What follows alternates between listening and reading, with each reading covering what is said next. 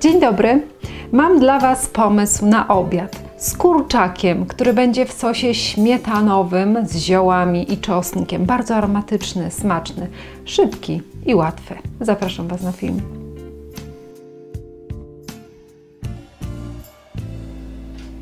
Zobaczcie, co będzie potrzebne. Oczywiście kurczak. Jaka jego część? Tak naprawdę dowolna, ale ja preferuję mięso z nogi kurczaka. Ilość pół kilograma plus minus, bo może być 550 gramów, 450. Też te proporcje, które Wam za chwilę podam, jak najbardziej się sprawdzą. A co jeszcze? Jedna łyżeczka soli, jedna łyżeczka ziół prowansalskich, pół łyżeczki rozmarynu, pół łyżeczki e, tymianku suszonego, 150 gramów śmietanki 30% kremówki, około 20 gramów tłuszczu do smażenia. U mnie jest to masło klarowane, taka po prostu pełna łyżka, jeden ząbek czosnku, ale duży, jak widzicie to jest taki duży y, czosnek, znaczy duży ząbek czosnek też był duży, ale jeśli macie mniejsze ząbki to dwa. I ostatni składnik to jest mąka, mąka zwykła, pszenna, tortowa, po prostu jedna taka łyżka. Potrzebna będzie jeszcze duża patelnia, koniecznie z pokrywką, deska do krojenia, coś do mieszania na patelni, nóż i jeśli chcecie czosnek przecisnąć przez praskę, to wyciskarka do czosnku. Jeśli chcecie go drobno posiekać nożem, to też oczywiście możecie. To wszystko można zabierać się do pracy.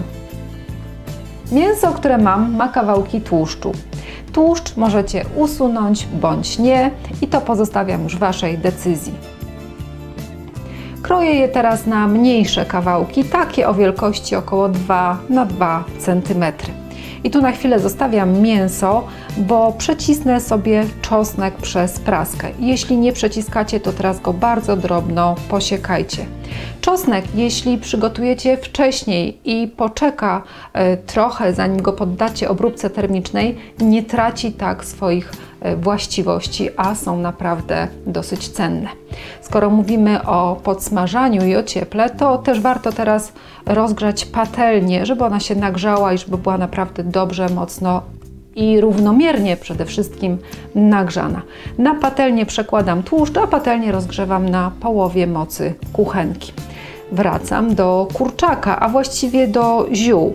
Zioła warto rozetrzeć dłońmi, jeśli nie macie moździerza e, i możecie rozetrzeć, przełożyć od razu do mięsa. Natomiast jeśli macie moździerz, warto to zrobić w moździerzu, dodając sól, bo sól wspomaga to rozcieranie tak roztarte zioła z solą przekładam do mięsa. Jeśli rozcieraliście zioła dłońmi, to przypominam, y, abyście dodali również sól. Mieszam bardzo dokładnie kawałki mięsa z ziołami i solą. Teraz mogę dodać mąkę.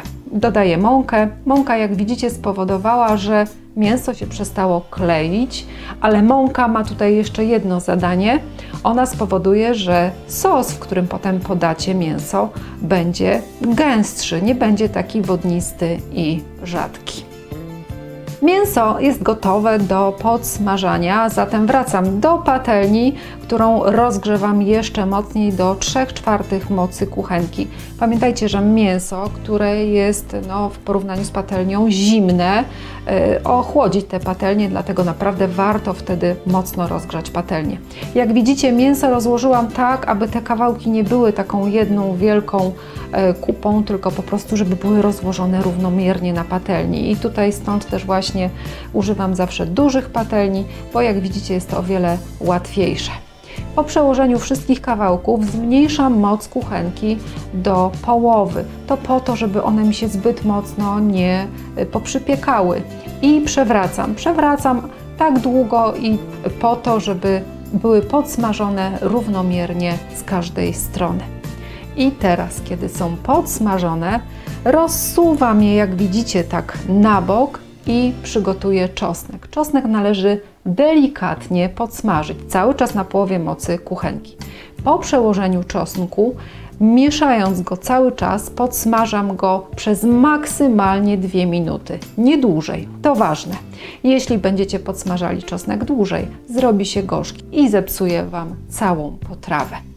Po tych dwóch minutach wlewam na patelnię śmietankę, wszystko ze sobą mieszam i patelnię przykrywam.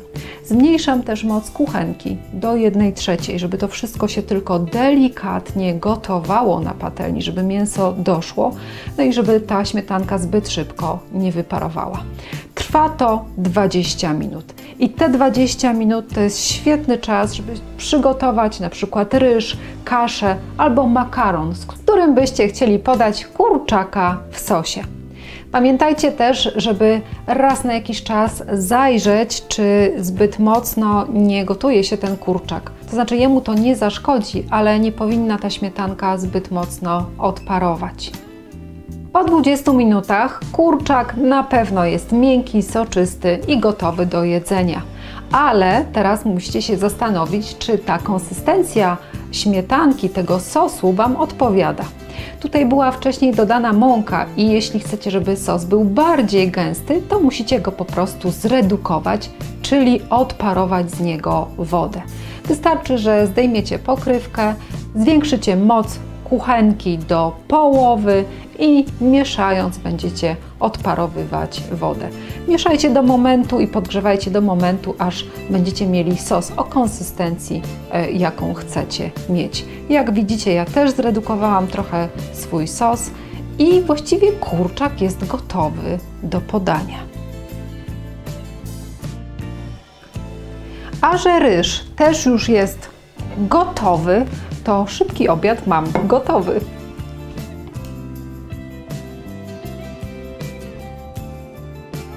Szybkie i jak widzieliście bardzo łatwe w wykonaniu, a to jak jest smaczne koniecznie przekonajcie się sami. I jeszcze raz polecam mięso z uda kurczaka. Jest o wiele bardziej smaczne. Do zobaczenia i jak zawsze smacznego.